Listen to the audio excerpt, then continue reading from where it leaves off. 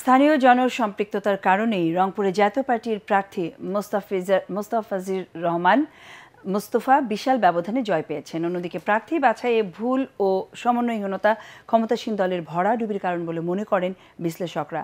ভোটে ব্যাপক বিলম্ব হওয়ায় ইভিএম প্রক্রিয়ার ভোট প্রশ্নবিদ্ধ হয়েছে বলেও অভিমত তাঁদের। রংপুর প্রতিনিধি মাহবুবুল ইসলামকে সাথে নিয়ে রিপোর্ট করছেন একরামুল হক সায়েম।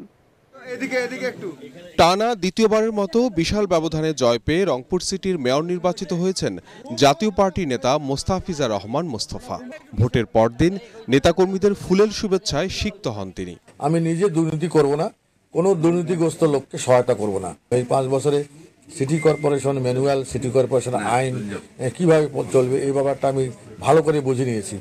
এখন আমার যে আগের যতটুকু দুর্বলতা ছিল সেটাও থাকবে না। আগামী দিনে পথ চলা দেখবেন একটা ক্লিন রাস্তায় আমরা চলতেছি।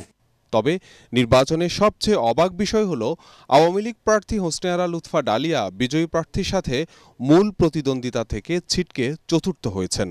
ভোট পেয়েছেন মাত্র বাইশ হাজার যেখানে জাপা প্রার্থী পান এক লাখ ছেচল্লিশ হাজার ভোট। অন্যদিকে ইসলামী আন্দোলন বাংলাদেশের আমিরুজ্জামান প্রায় পঞ্চাশ হাজার ভোট পেয়ে নিকটতম প্রতিদ্বন্দ্বী হন। এ নিয়ে নানা বিশ্লেষণ চলছে রংপুর সিটিতে।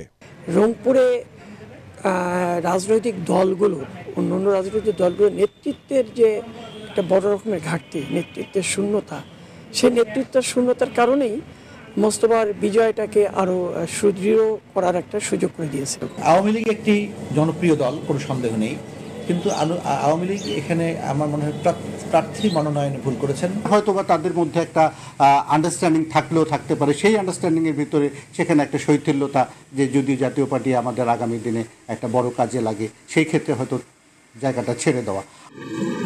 এদিকে ইভিএমের ধীরগতির নতুন দৃষ্টান্ত তৈরি হয় রংপুরে। সাড়ে চারটায় ভোট শেষের কথা থাকলেও তা কোথাও কোথাও গড়ায় রাত আটটা পর্যন্ত। এতে ক্ষোভ জানান নগরবাসী। যে কোনো কোনো ক্ষেত্রে দশ ভাগ থেকে কুড়ি ভাগ ভোট, ভোটার ভোট দিতে পারেনি।